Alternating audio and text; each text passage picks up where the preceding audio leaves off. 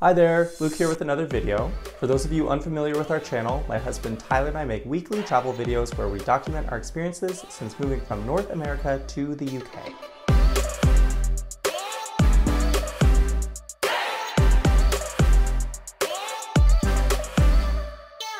If you watched our last video, you'll know that we finished up in the area of Cornwall in southwestern England. In this video, I'm gonna walk you through what we did after that, which was do the first part of our experience in Scotland. We were in Scotland for about four weeks and we explored lots of different regions of Scotland. In this video, I'm gonna focus more on the Glasgow area as well as some of the other national parks and natural beauty areas that are in the eastern part of Scotland. We drove our rental car in Cornwall all the way up back to Shrewsbury, which is where we rented the car, and then took the train the next morning up to Glasgow. We proceeded from our accommodation to the Glasgow Green, which is a pretty park that we enjoyed walking around.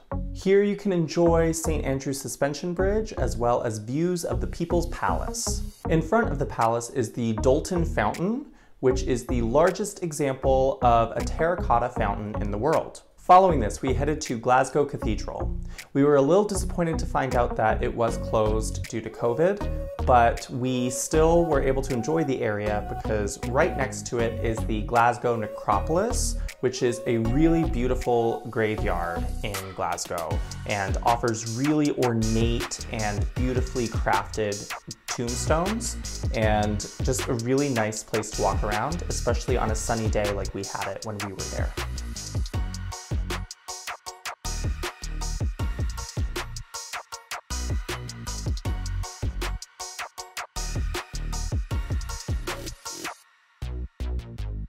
Then proceeded to walk through the downtown core of Glasgow from east to west and just enjoyed taking our time walking through the city a bit and eventually reached Kelvingrove Park. There are lots of really nice walking paths here in Kelvingrove Park as well as a museum. Do note that at least at the time that we were there, they required advance booking up to a day in advance. But for us, we lucked out because even though we hadn't booked anything in advance, it was kind of a last minute thing that we decided to go. We did luck out that there was a no-show, so we were actually able to enter.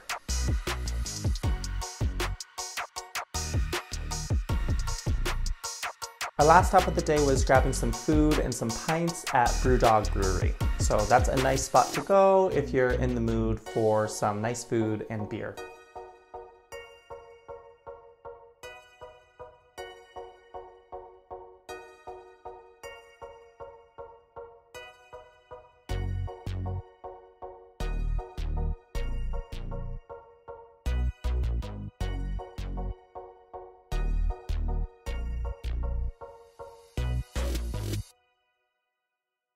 After our time in Glasgow, we picked up a rental car and proceeded first to the Loch Lomond and the Trossachs National Park.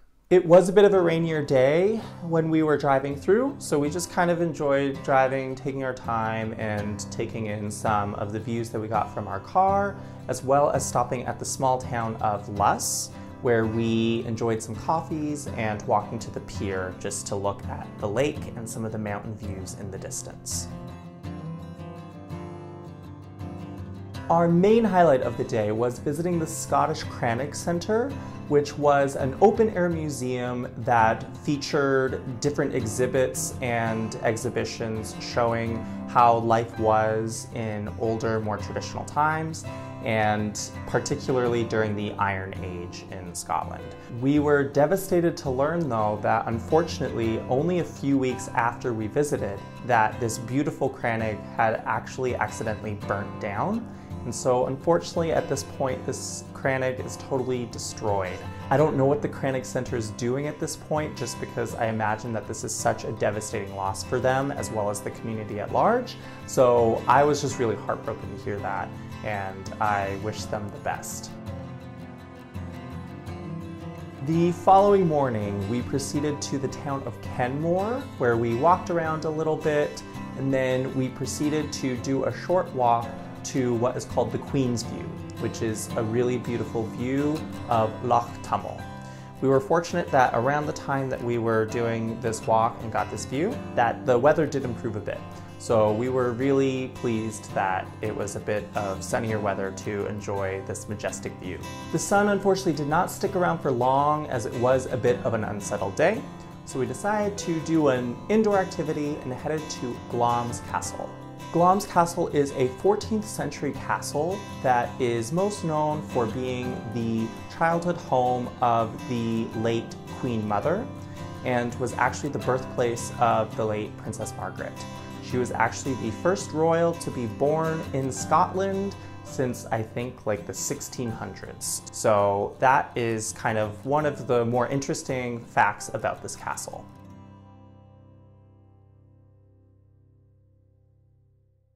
From here, we headed east towards the coast to the town of Arbroath and visited Arbroath Abbey, which are these quite pretty castle ruins in the middle of this town and we actually enjoyed it even though it was a bit rainy because we found it was a bit moody and interesting to see. So that was a fun way to finish off the rest of our day.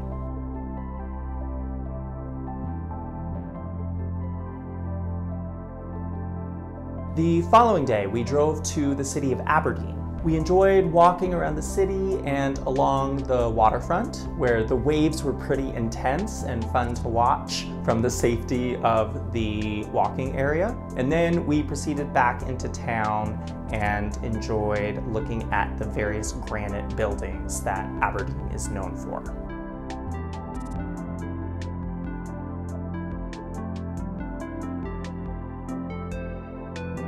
Later that day, we headed out of the city to visit Dunnottar Castle, which are actually castle ruins, but are an absolute must-see if you are in this area of Scotland, because they are absolutely stunning.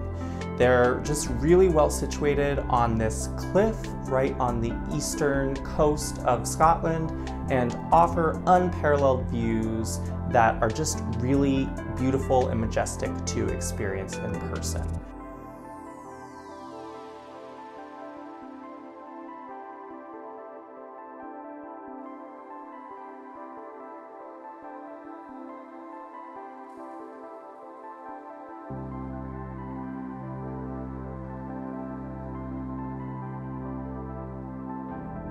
There's just something really beautiful about these old ruins in this natural landscape. So I can't recommend this place enough. You can easily spend lots of time just walking around the various different points and enjoying all of the different vantage points of the area.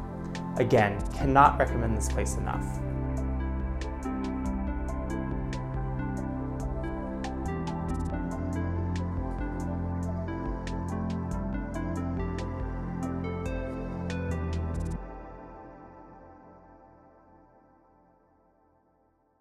We woke up the next day in our Airbnb in Aberdeen and proceeded to our next destination, which was Cairngorms National Park. Our first point of interest within the park was heading towards Crathie.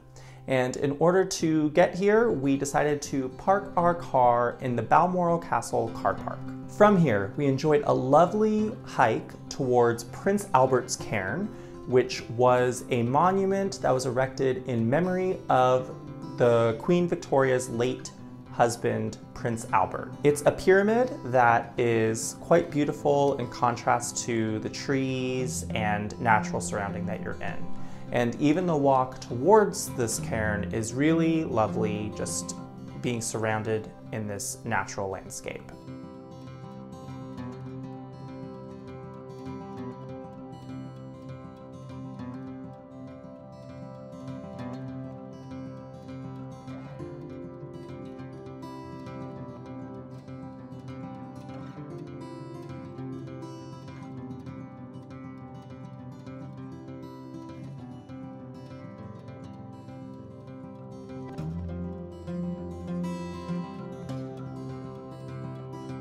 If you continue on the hike past the cairn, you can actually walk all the way to Balmoral Castle, and we were surprised to learn that you are able to just walk onto the grounds for free. So we enjoyed getting various views of Balmoral Castle, which for those of you who don't know, is one of the main royal residences of the Queen And obviously this was a time that she wasn't staying there, so the public were able to visit some parts of the castle. We only did the exteriors and we just really enjoyed looking at and appreciating this beautiful castle.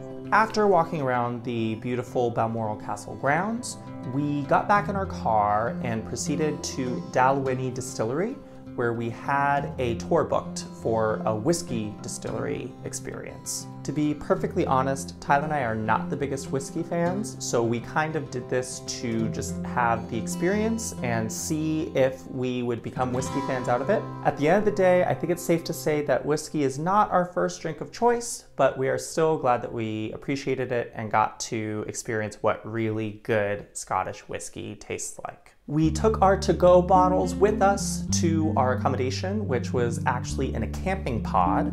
This was our first experience ever staying in a camping pod like this, and we actually really thought it was quite cool. It was kind of our first foray into kind of the glamping experience, so that was fun. And Tyler enjoyed his little whiskey bottles, and then we proceeded to a local pub to have some dinner and relax for the rest of the evening. For our last day in this region, we proceeded to drive to the famous capital of the Highlands that is Inverness.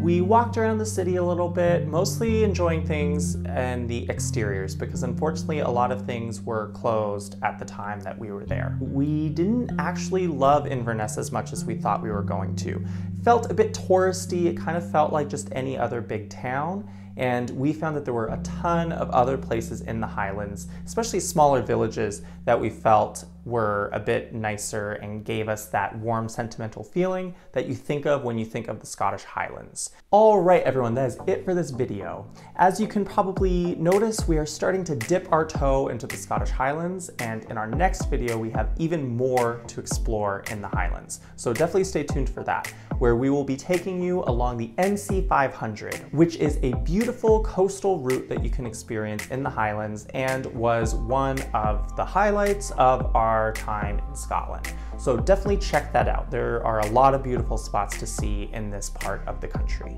I hope you enjoyed this video, and if you did, be sure to comment, like, and subscribe. Have you been to these areas of Scotland? Please, if you have input, let us know in the comments down below. I love hearing from you guys. Can't wait to see you at our next video. Have a good one. Bye.